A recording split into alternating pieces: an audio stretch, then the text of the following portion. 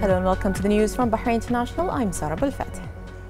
The Shura Council held its weekly meeting presided over by its chairman Ali bin Saleh Al Saleh. The council referred a draft law to the Public Facilities and Environment Committee on adding a new article to Decree by Law number 3 of 2002 regarding municipal members' election system. The council approved the referral of a draft law ratifying the main system of the Labour Centre of the Organisation of Islamic Cooperation to the Council of Representatives in preparation for its approval by His Majesty the King.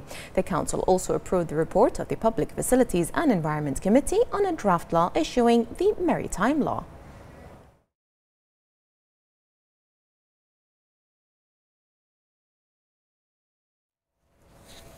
The Minister of Health, Faiqa bin Saeed Al Saleh, called for a greater adherence to precautionary measures from all citizens and residents in order to limit the spread of the coronavirus. The minister indicated the government's continuous efforts to address the pandemic, reduce the virus cases, and manage their recovery in implementation of the directives of His Majesty King Hamad bin Isa Al Khalifa and the follow up of His Royal Highness the Crown Prince and Prime Minister Prince Salman bin Hamad Al Khalifa.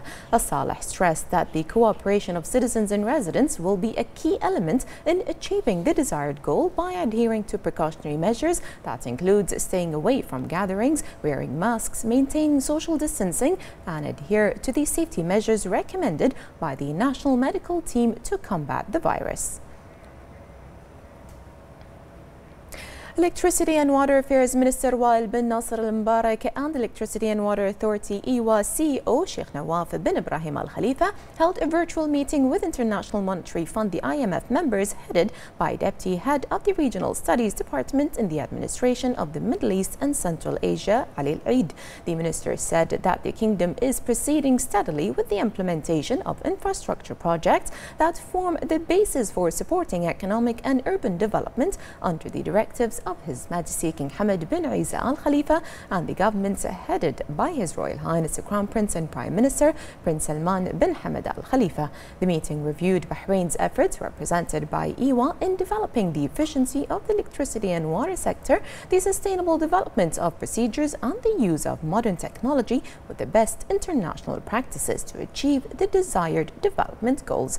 They also reviewed the initiatives taken by EWA in the field of enhancing the electricity and water services provided to various segments of society and enhancing the kingdom's competitiveness in the field of facilitating procedures for access to these services.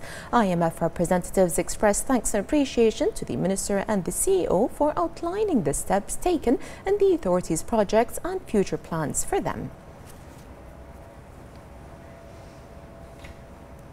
The United Arab Emirates and the Sheikh Ibrahim bin Mohammed Al Khalifa Center for Culture and Research opened a green corner as part of a joint cultural project within the framework of the agreement signed to strengthen cultural cooperation between the UAE and Bahrain to preserve common historical legacy.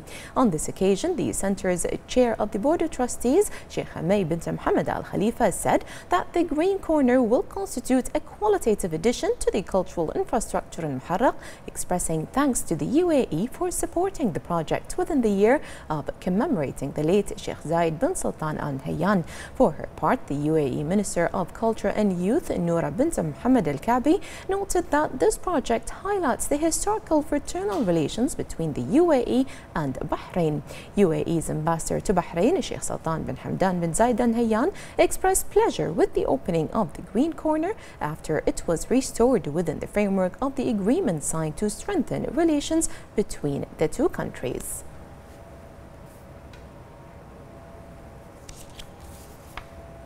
Public Prosecutor Nawaf Al Awadi said the Ministry of Interior Coast Guard has received a request for justice from the heirs of a captain who was killed in an assault on his boat by Qatari Coast Guard that also led to the injury of fishermen on board. The heirs included in their request a final ruling issued by the competent civil court in Qatar requiring the Qatari authorities to compensate them for the role of those responsible for the death and injuries. The heirs have called for the criminal prosecution of the officials in Qatar Who caused the killing.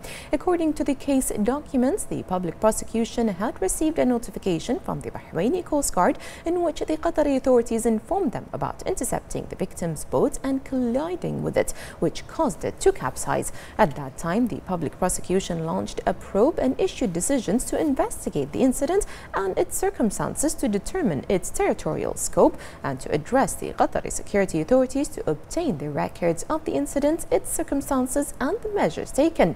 Al-Awadi said that the public prosecution heard the heirs as well as the injured victims who confirmed that the collision by the Qatari boat was deliberate and in a manner that inevitably led to death. Their action actually caused the boat to capsize, the men to fall overboard and the captain to drown.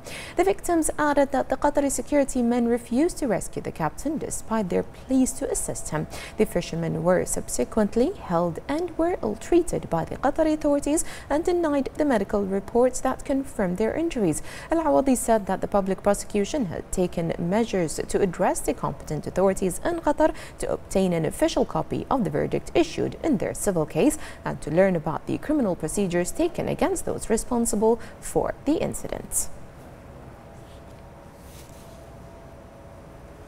A number of Bahraini religious scholars affirm the right of Bahraini fishermen to seek their livelihood by sailing their boats. In a statement, they stress the importance of restoring the usual conditions for successive generations in terms of fishing in the Arabian Gulf waters in a way that makes seeking livelihood a right for all. They added that the sea was and remains one of the most important sources of livelihood for the people of Bahrain and that fishing is considered an authentic Bahraini profession that has been passed down through through generations. They hailed the Bahraini government's call for this matter to be negotiated, noting that Bahrain was generous in dealing with its sailors who suffered damage and losses as a result of Qatar's arrest, trial and seizing their boats for long periods. They also expressed their aspiration for Al Ula summit to be the basis for facilitating people's affairs. The Ministry of Health said today that the number of coronavirus cases reached 4,091 with 212 recoveries, 655 registered new cases and 3 deaths. 237 of the new registered cases are expatriates, 411 are contacts of active cases and 7 are travel related. The deceased were 54 and 63-year-old male citizens and an 83-year-old female citizen. The ministry expresses its heartfelt condolences to the families of the deceased and urges everyone to comply with the guidelines issued by the National Task Force for combating the coronavirus.